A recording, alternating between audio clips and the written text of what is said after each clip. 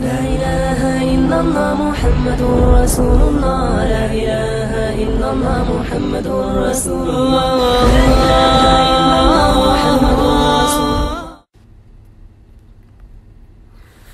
شیطان جو ہے، اس کی اولاد بھی ہے۔ اور شیطان کی اولاد کا ذکر قرآن میں بھی ہے۔ بعض لوگ کہتے ہیں کہ شیطان کی اولاد بھی ہے۔ اس ضمن میں میں نے ایک درس آپ کے سامنے پیش کیا تھا۔ کہ شیطان کا پڑپوتا حامہ، اس کے اسلام لانے کا واقعہ۔ تو اس پر لوگوں نے بڑی حیرانی کا اظہار کیا کہ آیا شیطان کے بچے بھی۔ ہیں بھئی جنات میں بھی وہی معاملات ہیں جو انسانوں میں۔ ان کی بھی اولاد ہوتی ہے، ان کے ہاں بھی شادیاں ہوتی ہیں، ان کے ہاں بھی نکاح ہوتے ہیں، اولاد ہوتی ہے، ان کے ہاں دین ہوتے ہیں۔ تمام معاملات جو انسانوں میں وہ جنات میں ہیں۔ تو شیاطین کی اولاد بھی ہے۔ اس ضمن میں سورہ کہف کی آیہ نمبر پچاس آپ ملاحظہ فرمائے جس میں اللہ تعالیٰ نے واضح طور پر اس بات کا بیان کیا ہے کہ ابلیس کی ذریت بھی ہے، شیاطین کی اولادیں بھی ہیں۔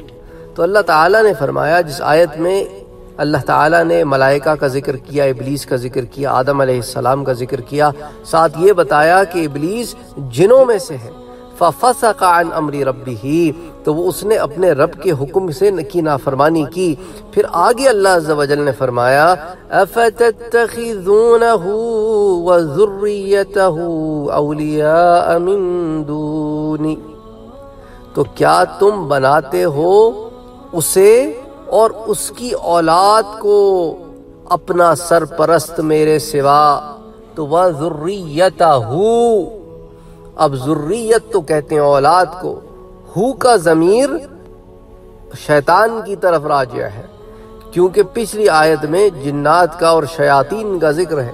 اچھا اسی لیے جو ہے اس آیت سے یہ مسئلہ واضح ہو گیا کہ شیاطین کی، جنات کی، ابلیس کی ذریت ہے، اولاد ہے۔ اسی لیے اللہ تعالیٰ نے اس بات کو یہاں ذکر کر کے فرمایا، وَهُمْ لَكُمْ عَدُو۔ حالانکہ وہ تو تمہارے تمہارے دشمن ہے وہ۔ اس کے باوجود تم ان کو دوست پکڑتے ہو۔ تو بہرحال یہ قرآن کی آیت سے بات واضح ہو گئی۔ اب آگے بات کرتے ہیں۔ ابن ابی دنیا مقائد الشیطان میں سید المفسرین حضرت مجاہد رحمت اللہ علیہ سے روایت کرتے ایک تو حبر المفسرین ہے نا، وہ سیدنا عبداللہ ابن عباس رضی اللہ تعالیٰ عنہ اور آپ کے جو شاگرد ہیں حضرت مجاہد رحمت اللہ علیہ، وہ سید المفسرین کہلاتے ہیں۔ تو وہ فرماتے ہیں کہ ابلیس کے پانچ بیٹے ہیں۔ ہر ایک کو اس نے علیحدہ علیحدہ کام کے لیے مقرر کر رکھا ہے۔